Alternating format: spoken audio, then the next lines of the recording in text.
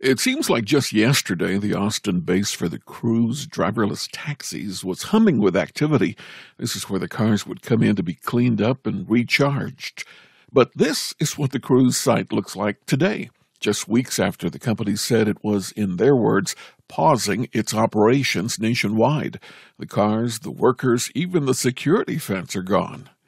Here in Texas, autonomous vehicles are regulated by the state, and Austin has been their first real world test.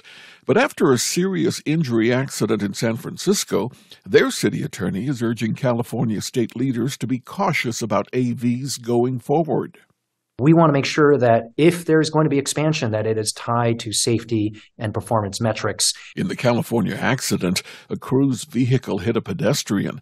The vehicle stopped, but then dragged the woman about 20 feet. It's important to note this accident was not the fault of the cruise vehicle. In fact, Cruise says in its first million miles of operations, 94% of all traffic collisions were the fault of the other party. At first glance, that self-driving car did what we've been told many times before. If the car is still drivable after the crash, get it off the road. But actually, there's something you should do first. TxDOT says you should move your vehicle out of the roadway after rule number one, checking for injuries, and if people are hurt, tend to them. Cruise noticed that missed step two and is looking into their collision detection system, which they note may cause the Cruise AV to attempt to pull over out of traffic instead of remaining stationary when a pullover is not the desired post collision response.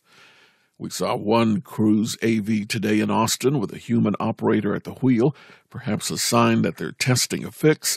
It's not known when Cruise will resume operations at Austin. The company admits they need to rebuild public trust first. Fred Cantu, CBS Austin News. Thank you for watching. Please hit the subscribe button and get the latest news by downloading the CBS Austin News app.